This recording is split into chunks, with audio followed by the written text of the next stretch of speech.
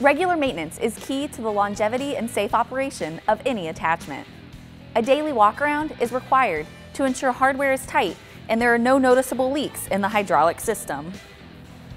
Prior to operating the auger, it should be checked to ensure it is in good working order.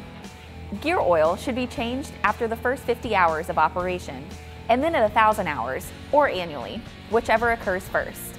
The auger should be greased at the wear points as needed and before storage. The wear points include the connecting pins, the auger bit pin, the output shaft surface, and the inside of the collar.